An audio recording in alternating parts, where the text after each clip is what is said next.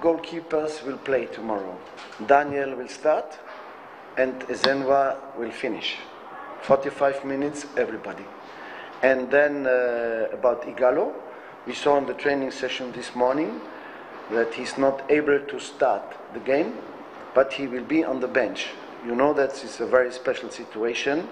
I never saw something like that, that you have the day before a very, very, even most, more important game like ours. We wanted to help this team.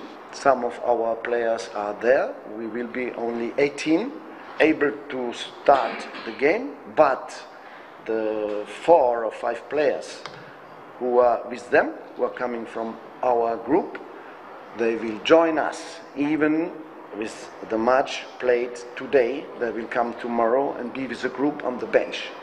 Probably they will not play, but they will be in the group to show them that uh, we are together.